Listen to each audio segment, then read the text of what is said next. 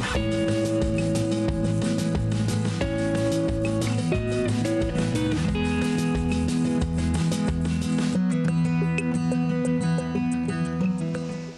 Pues como cada martes tenemos aquí con nosotros a Azu. Muy buenas noches, ¿qué tal? Muy buenas noches, Hoy nos has traído una palabreja que ahora nos vas a dar su significado, nos vas a dar consejos prácticos para gestionar tu tiempo y evitar procrastinar. ¿Qué es procrastinar? Qué palabrota, esto es como el libro además de que cometemos todos, yo creo. ¿eh? Yo, desde luego, se me da bastante bien procrastinar. Es dejar para último momento las mismas tareas, el mismo tipo de cosas, esto de no me apetece ahora ponerme a ello, esto que tengo que entregar, y nos hacemos muy habilidosos en trabajar bajo presión. Lo uno ayuda al otro. Oye, procrastinar no está bien, pero también trabajamos nuestra capacidad para trabajar al último minuto, sacar nuestros mejores recursos y entregar en última hora. Pero siempre vamos a estar mucho más relajados y a disfrutar mucho más de lo que hacemos si somos capaces de gestionar nuestro nuestro tiempo, de manera que lleguemos hasta pillarle el punto a hacer aquellas tareas que no son tan agradables de hacer. Bueno, pues vamos a eh, ese dicho, ¿no? No vamos a dejar para mañana lo que podemos hacer hoy y cómo lo podemos conseguir. El truco está sobre todo en cambiar la palabra podemos, lo que podemos hacer hoy, con queremos, decidimos conscientemente hacerlo a pesar de que no sea muy agradable, porque algo nos trae de bueno, si no, no lo haríamos. ¿Vale? Entonces, bueno, vamos a empezar. En primer lugar, es importante hacer balance de cómo gestionamos nuestro tiempo. Para ello podemos hacer una especie de fotografía de la última semana, del último mes, del último trimestre, un poco cómo he organizado mi tiempo y eh, a qué tipo de actividades o en qué tipo de proyectos estoy invirtiendo todo mi tiempo. Tenemos unas horas determinadas para dormir, para descansar, para comer, pero el resto del tiempo lo vamos organizando en función de jornadas de estudio o de trabajo y labores de todos los días, etcétera, etcétera. Hacer un balance, un pequeño esquema de en qué suelo utilizar mi tiempo de forma natural, sin tener que meter conciencia cómo lo voy haciendo.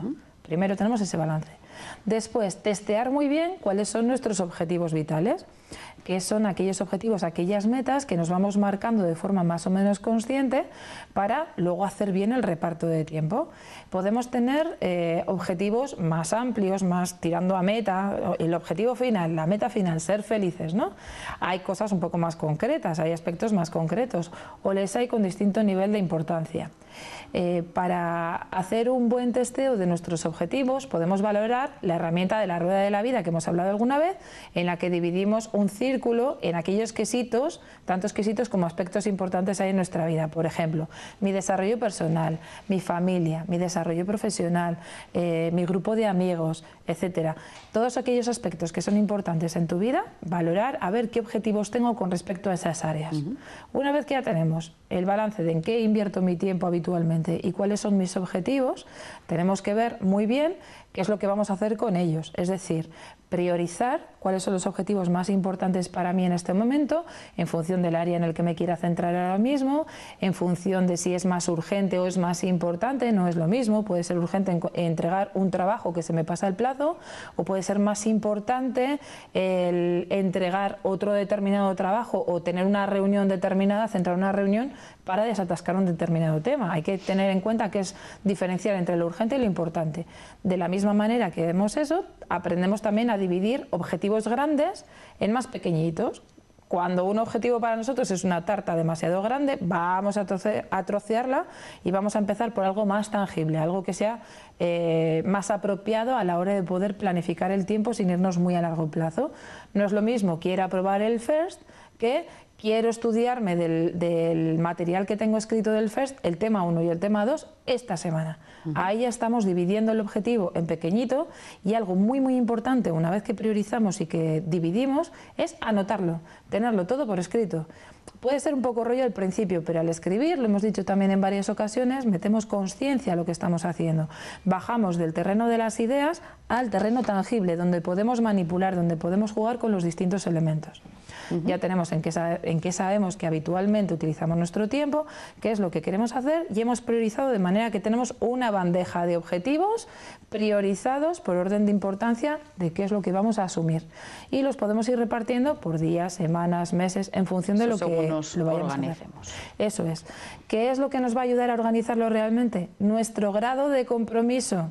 Podemos querer tener mucha prisa en hacer los baños de casa, pero a lo mejor realmente no tengo un compromiso fuerte con hacerlo porque no me hace ninguna ilusión. A lo mejor eso puede ser dejarlo para otro momento, ya veremos luego en función de qué, o a lo mejor no nos molesta tanto ver los pelillos en el lavabo, etcétera, etcétera. Vamos a priorizar en función de lo que a cada uno nos interese y teniendo en cuenta cuál es nuestro ritmo, cuál es nuestra forma de funcionar y qué es lo que realmente para nosotros es importante. Cuando hablamos de objetivos más grandes, por ejemplo, quiero encontrar trabajo, eso no depende solamente de nosotros. Ojo con los objetivos, que tenemos que tener en cuenta que los objetivos tienen que depender siempre de nosotros.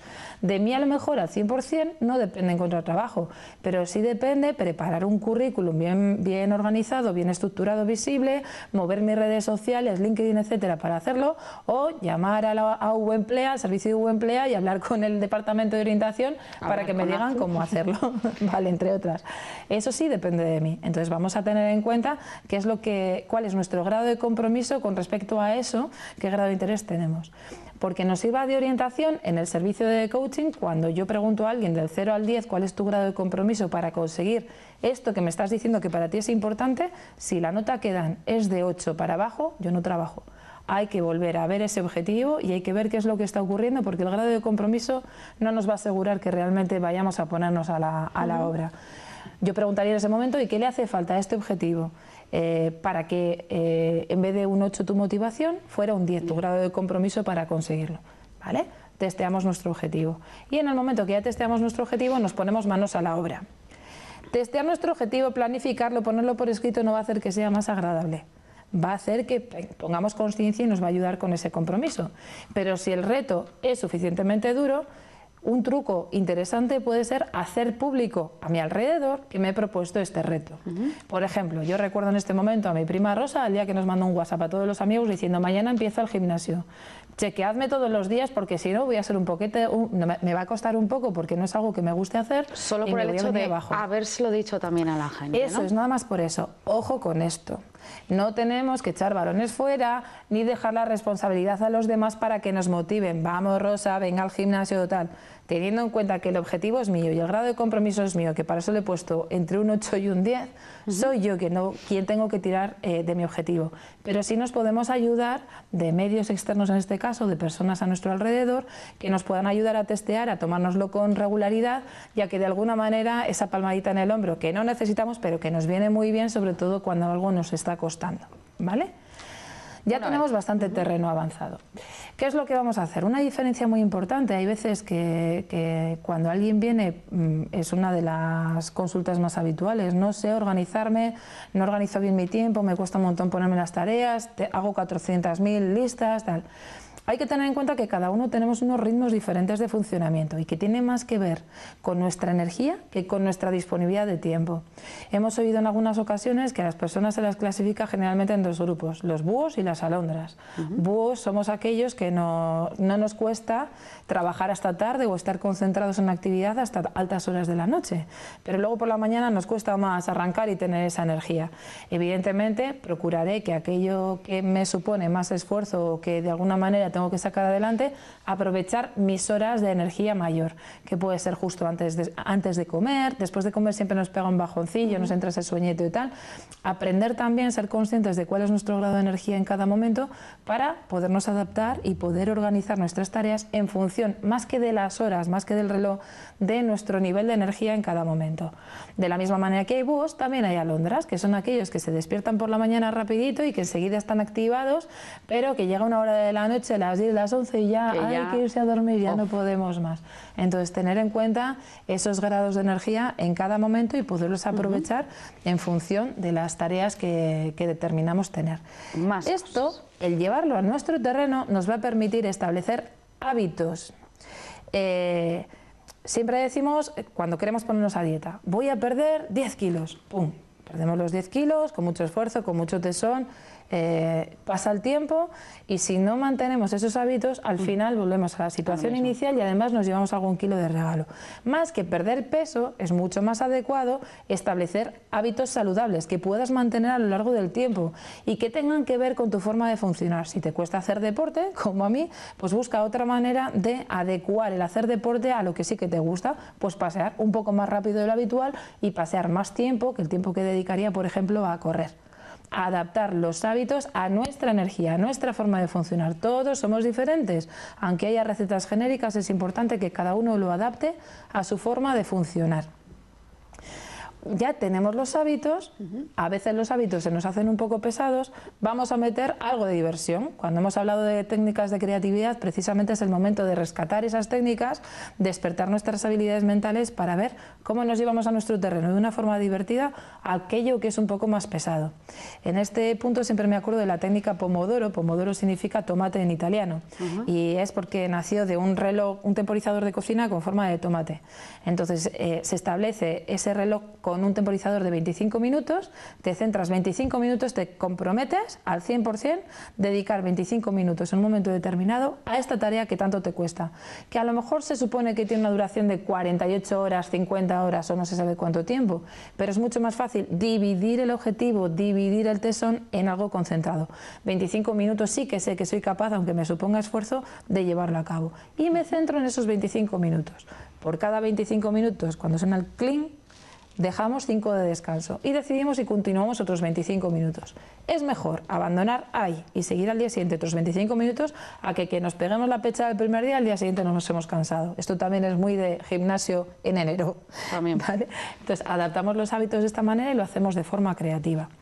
Es importante también en este punto, ya que lo hacemos divertido, que ya vamos estableciendo el hábito y que lo vamos haciendo eh, de forma adecuada, eh, ser responsables de que nadie ni nada nos interrumpa, principalmente nosotros mismos. Si estoy en esos 25 minutos que he decidido y que me he comprometido conmigo misma de 0 a 10 o un 10 en que lo voy a hacer, fuera interrupciones. No se admiten visitas, no se admiten llamadas de teléfono, no nos hagamos trampas si es trabajo de ordenador, que si Facebook, que si Twitter, que si tal, que si LinkedIn, que si vas un momento. Es decir, sacralizar el tiempo que dedicamos a algo, por eso es muy importante testear cuál es nuestro compromiso.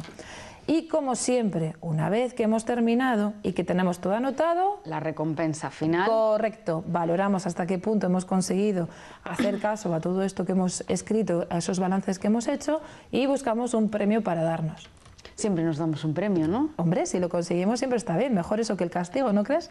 Bueno, pues eh, no dejen para mañana pues lo que puedan hacer hoy. O lo que quieras hacer hoy. O lo que quieras, eso.